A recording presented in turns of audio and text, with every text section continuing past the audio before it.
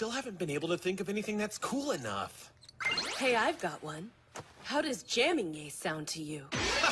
Oh, it's like Hemingway who wrote A Farewell to Arms, right? Real clever. I like it. No, it's because even though you're powerful, you always Yay. jam your brain. Oh, come on, Jiro, quit messing with me! Here comes the boy. Hello, boy. Welcome.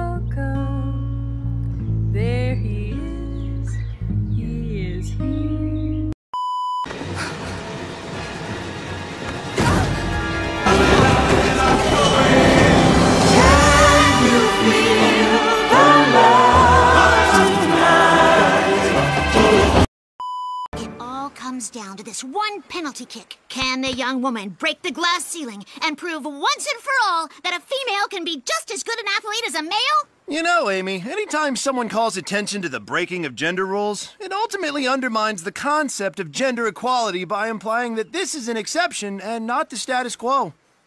What? Just because I'm a meathead doesn't mean I'm not a feminist.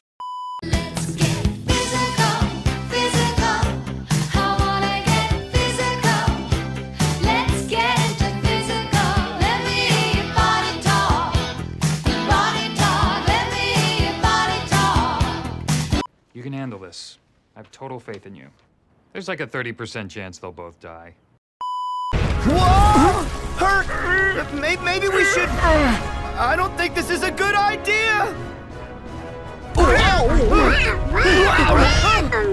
Oh, oh, oh!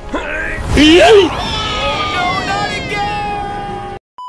Okay, now, how many of you have played musical instruments before? Do instruments of torture count? No. Is mayonnaise an instrument? No, Patrick, mayonnaise is not an instrument. Horseradish is not an instrument either. You thought you could get away, gamer girl. You thought that you could fucking escape me, gamer girl. But my IQ is too high.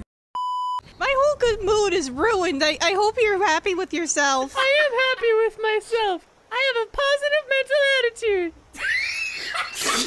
God, I wish that were me. Anyway, You should go just, away. You should just cheer up. No. You can believe in yourself. Friendship. Now you're just saying words. And they were roommates. Oh my god, they were roommates. You see, life is like a narrow road. We can walk on the right, we can walk on the left, or we can walk down the middle. Isn't walking down the middle of a road dangerous? Well, duh, and walking, yeah, it's totally dangerous. You could get, like, hit by a car or something.